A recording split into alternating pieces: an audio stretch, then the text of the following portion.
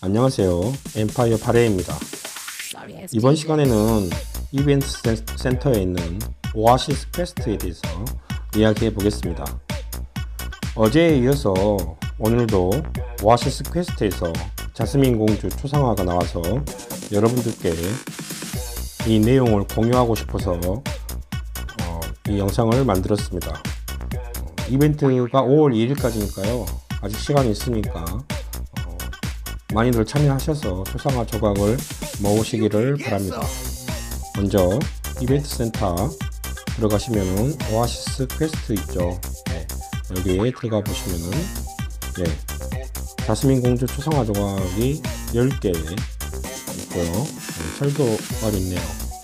음, 이 여명의 등불을 모아서 여명의 등불 100개가 필요한데요. 어, 여명의 등불은 어, 몬스터 사냥이나 자료를 채집하면은 저절로 쌓입니다.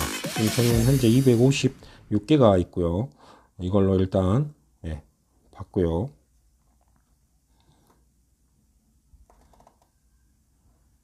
또, 또 나왔어요. 예, 방금 무료를 눌렀는데 또 이게 나왔습니다. 아, 100개를 빨리 모아야겠네요.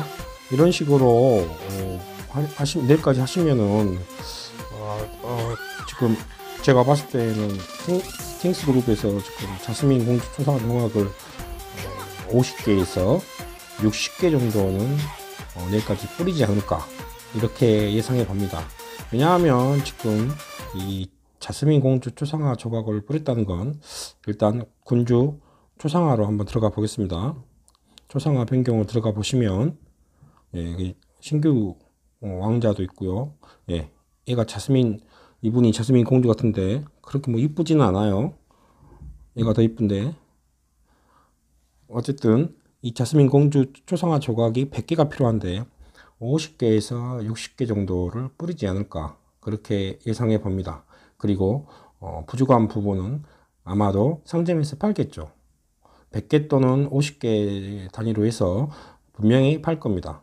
그리고 이걸 했다는 것은 어, 곧 이벤트를 시작한다는 겁니다.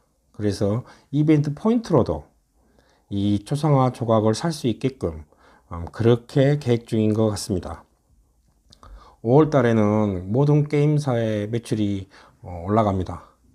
그렇기 때문에 꼭 이벤트를 하게끔 되어, 있습니다. 어, 유저들을 위해서 하는 게 아니고 자기들 매출을 더 올리기 위해서 이벤트는 반드시 합니다. 아마도 다, 다음 주 아니면 다다음 주 10일 이내에 분명히 이벤트는 할 거고요. 그때를 대비해서 어, 장비라든지 이런 업그레이드를 어, 조금 참으셨다가 이벤트 때 하시면은 그 포인트로 이렇게 초상화 조각도 살, 수, 살 수가 있고요. 어, 포인트로 장비 업그레이드 재료를 구해서 장비를 더 많이 하실 수가 있습니다. 저 같은 서민들이, 서민들이나 이 소과금러들은 이런 이벤트에 강해야 됩니다. 그래서 제가 매번 강조하지만 모든 업그레이드는 이벤트를 통해서 하시기를 추천합니다. 거의 매달 한 번씩 있습니다. 아울러서 아, 아마 지금 어, 원스토어에서도 조만간 30% 캐시백 이벤트를 또 할 것 같습니다. 제 예상으로는 다음 주 월요일이나 화요일, 수요일 그쯤에서 분명히 30% 캐시백을 할 거고요.